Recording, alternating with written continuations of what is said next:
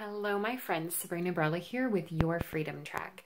So today is Thanksgiving 2017, and I am actually coming at you from Boise, Idaho, where I am staying with some extended family uh, who I have just been so blessed to get to know over the last four years. I've actually just recently met them.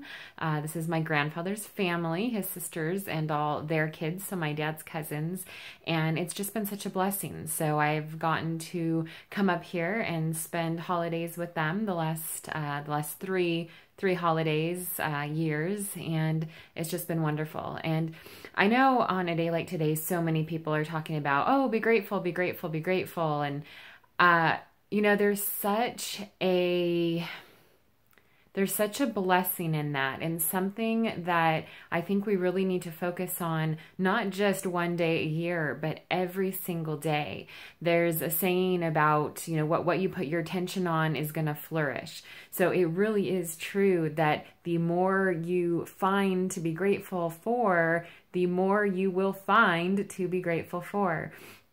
I've seen that in my life time and time again, and it just couldn't be more true. So, I just, I, you know, I urge you, I challenge you, I, um, you know, would say just look for things to be grateful for and don't just do it today. Do it every single day. Make make a list. I, I have a jar that is on my counter at home on my kitchen and every single day I will write the highlights from my day. I will write things, just special things that that happened and they could be little things but just things that I appreciate. And it's all my way of bringing the, the focus of where my focus is. My focus is on gratitude. My focus is on the things that are going right, not the things that are going wrong.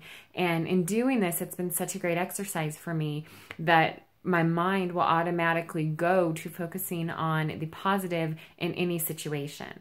And one of the things that, you know, I have different mantras that I use. And one of the things that I use when you are having those moments, I know for some of you today is going to be a moment that it may be hard to be grateful when you have a house full of people who uh, maybe there's a little bit of tension there. so, but just look for the little things to be grateful for. You know, there's, often we, you know, we get so caught up in the moment because our brains are used to looking for the bad. And it's not until after people or circumstances are gone that we really realize how grateful we were for them. And that's where regret comes in and shame and guilt. And so don't do that. Don't do that. Um, yeah, just find what you're grateful for make it, you know, and let those know. Let those that you love know that you love them, but just be blessed. Be blessed. Um, yes, remember what you're grateful for.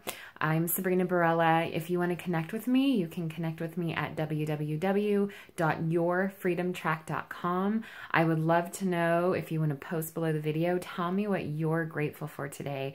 I am so grateful for my family, for my friends, for the many communities that I'm so blessed to be a part of. I'm grateful for my mentors. I'm grateful for my cat, Prissy. I'm, I'm grateful just to to live in a country where I can be an entrepreneur, where I can actually go after my dreams and where I can also help others go after theirs. So I have a many, many more things on the list, but I'm going to cut it off at that. I'm going to bless, uh, say bless you, have a wonderful Thanksgiving, and I will talk to you soon.